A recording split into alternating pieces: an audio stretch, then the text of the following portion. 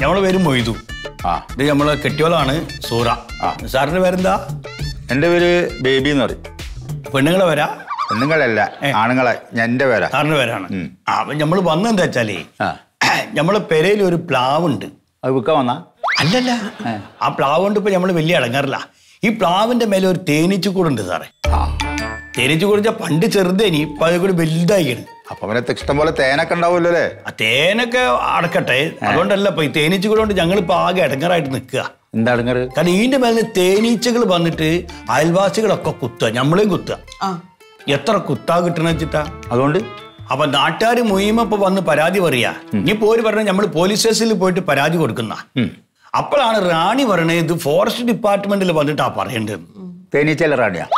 നമ്മടെ വാർഡ് മെമ്പറേ. വാർഡ് റാണി? ആ ഇവിടെ വന്ന് പറയാൻ. ഫോറസ്റ്റ് ഡിപ്പാർട്ട്മെന്റിലാണ് ഇത് പറയേണ്ട ഓരാണ് ഇതൊക്കെ കൈകാര്യം ചെയ്യാൻ പറഞ്ഞു. അപ്പൊ നിങ്ങൾ വന്നിട്ട് ആ തേനീച്ച കൂടെ ഒന്ന് മാറ്റി തരണം. എന്ത് വർത്താനം? ഇത് ഏത് റാണിക്ക് എന്തൊക്കെയാ പറഞ്ഞുകൂടായി? ഞങ്ങൾ ഈ കാട്ടിലെ കാര്യങ്ങൾ മാത്രം ശ്രദ്ധിക്കുന്ന ആളുകളാ. നാട്ടിലെ കാര്യങ്ങളല്ല. അതേ ഓൾ പറഞ്ഞല്ല തേനീച്ച മൃഗല്ലേ? തേനീച്ച മൃഗോ? തേനീച്ച മൃഗാണ്. ആരെ പറഞ്ഞേ? ഓൾ പറഞ്ഞേ. അത് ഫോറസ്റ്റിന്റെ വകുപ്പിൽ പെടുന്നാന്ന് അറിഞ്ഞോളൂ. അപ്പൊ ഓളെ വീട്ടിൽ പോരുന്ന കോഴിയൊക്കെ മൃഗ?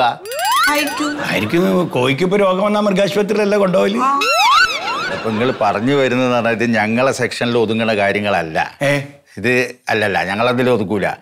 ഞങ്ങൾക്ക് എന്ന് പറഞ്ഞാൽ കാട്ടിലെ മൃഗങ്ങളെ അതായത് ആന പുലി സിംഹം അത് നേരെ മറിച്ച് നിങ്ങളെ വീട്ടിലൊരു പുലി വരികയാണെങ്കിൽ അറിയിച്ചോളി. സ്പോട്ടിൽ ഞങ്ങൾ എത്തും. അല്ല സാറേ പുലിയൊക്കെ വലുതല്ലേ? തേനീച്ച എത്രയേ ഉള്ളൂ ഇത് അല്ല അത് നോക്കിയിട്ട് കാര്യമില്ല. ഞങ്ങൾ കംപ്ലീറ്റ് ഈ മൃഗങ്ങളെ ഈ ടാർസനെ കഥ വായിച്ചിട്ടുണ്ടെങ്കിൽ ടാർസൻ എന്ന് പറഞ്ഞു കഴിഞ്ഞാൽ പുലി സിംഹം ആന കരടി അങ്ങനെയുള്ള സാധനങ്ങൾ മാത്രമേ മൂപ്പര കമ്പനിക്കാരുള്ളൂ തേനീച്ചയായിട്ട് സവാസം ഈ ടാർസൻ ഉണ്ടോ ഇല്ലല്ലോ? ഉണ്ടാവില്ല അതുപോലെ തന്നെയാണ് ഞങ്ങൾ ഈ വനപാലകരും.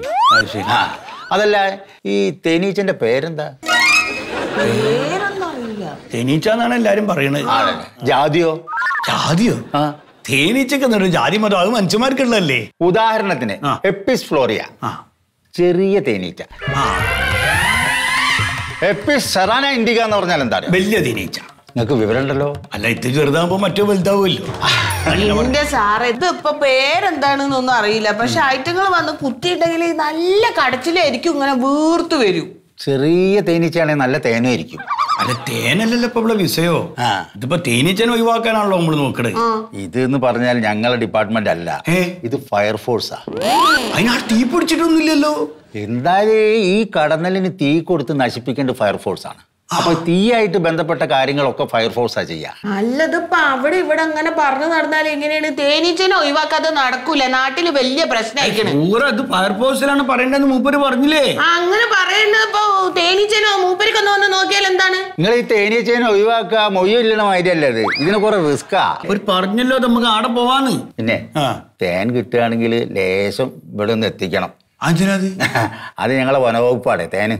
അത് ശരി. തേന് മാത്രമേ നിങ്ങൾ വകുപ്പുള്ളൂ. തേനീച്ചങ്ങൾ വകുപ്പ് പെടൂല അല്ലേ? അങ്ങനെയല്ല. അപ്പൊ നമ്മൾ ഫയർഫോഴ്സിൽ പോവാം.